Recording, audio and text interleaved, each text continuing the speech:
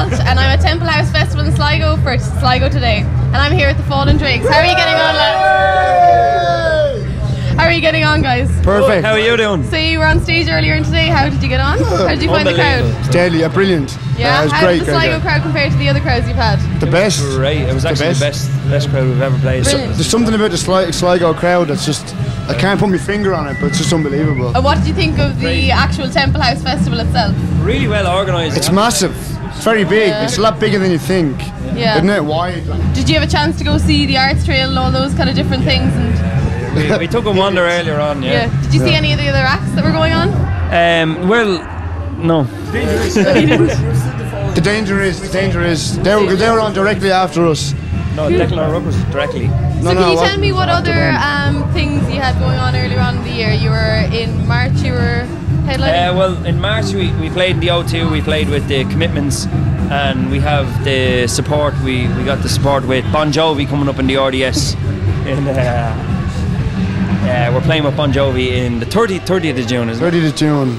Brilliant. Yeah. So are you excited about that? Or are you nervous? Or how are you? Ecstatic. Yeah. Brilliant. Yeah, no, it's great. No nervous at all. No, yeah, so we go in from the O2.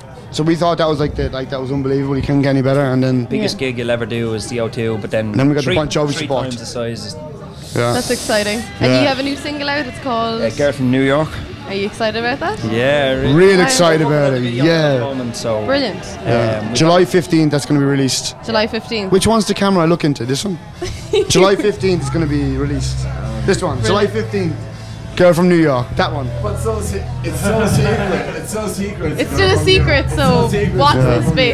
Yeah. And um, how did you actually meet? You're twins. We're twin brothers, Okay. unfortunately. And you're from Kildare. He's from Kildare. And yourself, you're from Papua New Guinea, is it?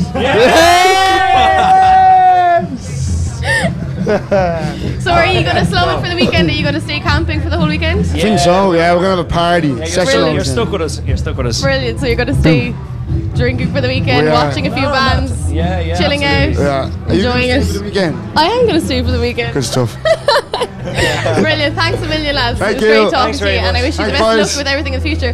Watch this space, guys. They're going to be big. Yeah.